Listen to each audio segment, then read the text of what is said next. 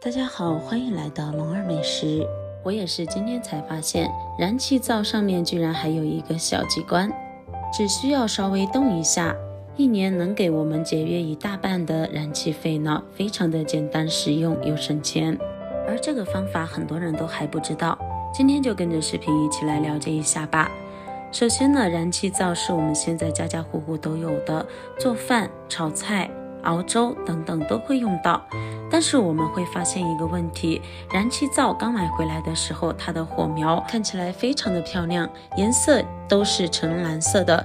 但是用过一段时间后，我们就会发现燃气灶出来的火苗开始变成这种红色火焰。可以看到我们家现在它的这个火苗，红色的火焰非常的多。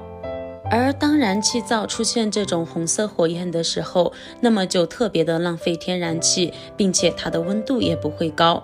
那么我们烧同一锅水，用蓝色火焰和红色火焰，那么用的时间长短就会有所差异。这样一来，如果一直是红色火焰的话，就特别的浪费天然气了。这样一年下来，我们就浪费了许多的燃气费。那么这种情况到底是怎么回事呢？我们要怎么来解决呢？其实非常的简单，只需要动一下这里就可以轻松解决了。一般情况下都是说明我们的燃气灶在这几个方面出现了问题。首先，我们家里面的燃气灶可以看到它是由内圈和外圈组成的，而咱们的这些火焰就是从里面的这个小圈圈，还有外面围绕的这一圈大圈圈里面出来的。我们仔细的观察，就可以发现这个内圈上面有许多的这样的小孔。有些朋友家里面的这个燃气灶内圈是可以取出来的，我们家的这个内圈呢，它是不能取出来的。取出来的话，你取出来就可以看得更加的仔细。看一下它的四周有许多这种的小孔组成的，而火苗就是从这些孔洞里面出来的。如果当家里面的燃气灶火苗从蓝色变成了红色，那么大部分就是这个里面的这些孔洞出现了问题。为什么是孔洞出现问题呢？这就和我们平时燃气灶的作用有关。燃气灶我们一般都是用来炒菜、炖汤、煮粥都会用到。那么像在炒菜的时候，一些油渍啊；炖汤的时候、煮粥的时候，一些汤汤水水从锅里面扑出来，把这些孔洞给堵塞了。日积月累，堵塞的就越来越严重。其实想要解决这个问题也是非常的简单。这个时候，我们只需要准备一根家里面的这种牙签，就可以轻松解决。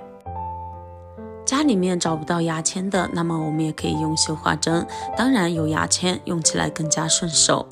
牙签两端都是尖的，这样插入孔洞也非常的方便。将牙签插入到这些小孔里面，将这些堵塞的小孔疏通一下，哪里堵就通哪里。直到把这些孔洞完全疏通为止。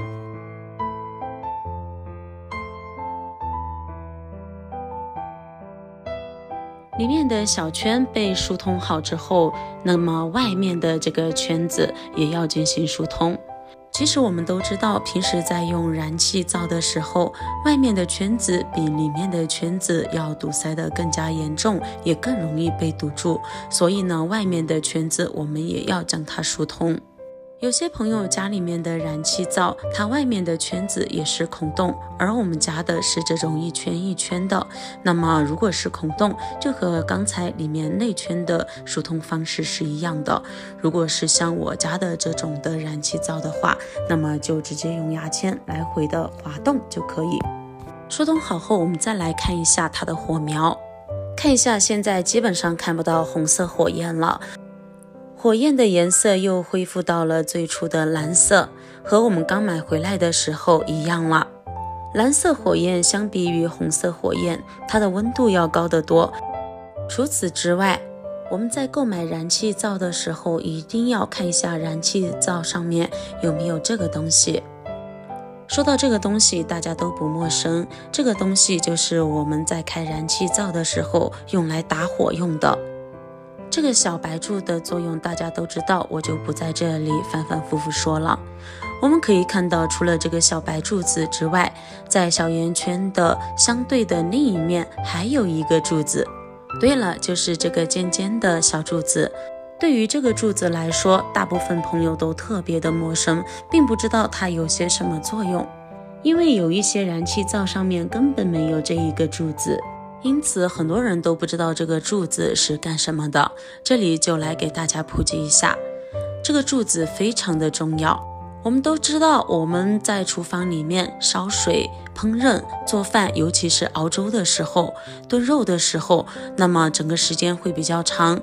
我们一出来，有可能就会忘掉厨房里面在烹饪一些食物了。这个时候如果没有人在，那么就会非常的危险。这个时候就显出这个柱子的重要性了。如果出现了刚才我们说的那种情况，那么当这个柱子感应到，达到一定的温度的时候，它就会自动的将天然气断掉。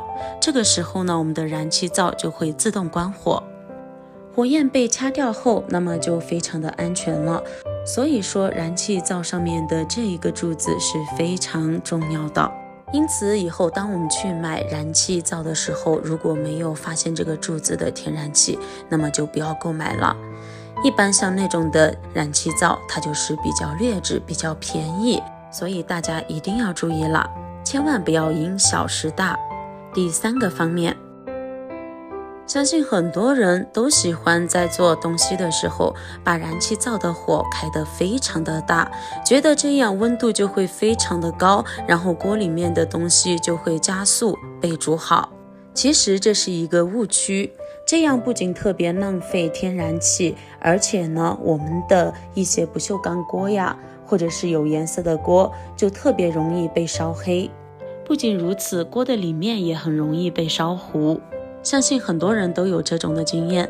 正确的做法是，不管是我们炒菜、煲汤、煮粥等等，都应该把火调到中小火的样子。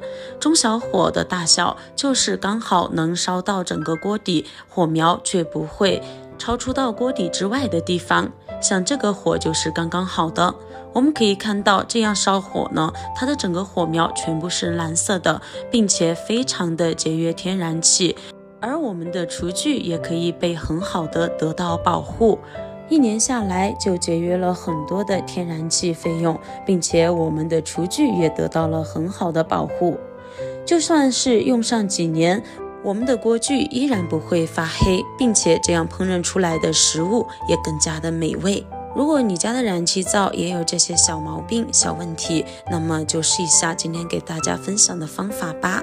以上就是今天的所有内容分享。喜欢我的视频，记得点赞、关注加收藏哦。